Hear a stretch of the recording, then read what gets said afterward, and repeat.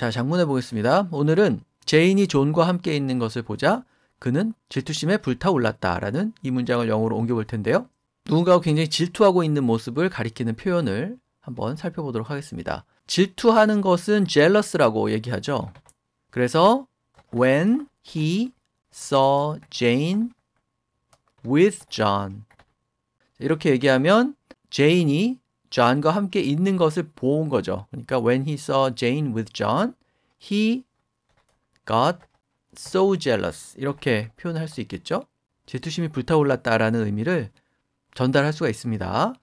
자, 그런데 어, 이렇게 질투를 할 때, 질투심에 불타오를 때 그런 상황을 표현하는 이디엄이 있는데요. green with envy라는 거죠. jealous도 질투를 표현하는 단어고요. envy도 질투를 표현하는 단어이기 때문에 green with envy라고 하는데 왜 green이냐? 어, 이거는 셰익스피어 문학 작품에 가장 먼저 쓰인 걸로 이렇게 알려져 있죠. 그래서 green eyed monster 녹색 눈을 지닌 괴물 이것이 질투를 가리킵니다.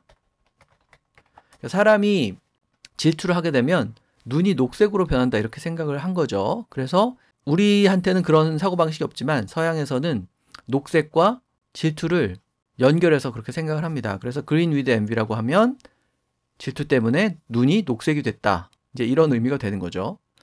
그래서 green eyed monster라는 표현도 기억을 하시고 질투를 가리키는 거죠. 그 다음에 green with envy가 질투심에 불타올랐다 정도 해당하는 영어 표현이라고 보시면 됩니다. 그래서 이 문장은 앞부분은 그대로 두고요. 뒷부분은 he was green with envy 이렇게 표현을 하면 되겠습니다. 자, 이렇게 얘기하면 질투를 했다는 뜻이 되는 거고 말씀드린 것처럼 왜 green이냐는 그냥 관용적으로 그렇게 쓰는 거니까 굳이 따질 필요는 없는 거죠. 한 가지 이 envy라는 단어를 활용할 때 좀 주의할 사항이 있는데 상대방이 뭔가 좋은 일을 하게 되면 좋은 일을 겪게 되면 우리가 아 부럽다 이렇게 얘기하잖아요. 우리말로.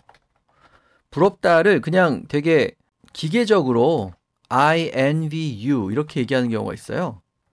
그런데 이것은 내가 당신을 질투한다, 시기한다라는 뜻이지 당신이 뭔가 좋은 일을 겪게 되었는데 그것이 잘 된 일이다라는 의미가 아닙니다. 영어에서는 그런 뜻으로 거의 쓰지 않아요. 그래서 어, 원어민들이 한국 사람들이 왜 이렇게 I envy you라는 말을 많이 하냐 이렇게 또 지적을 하기도 하죠.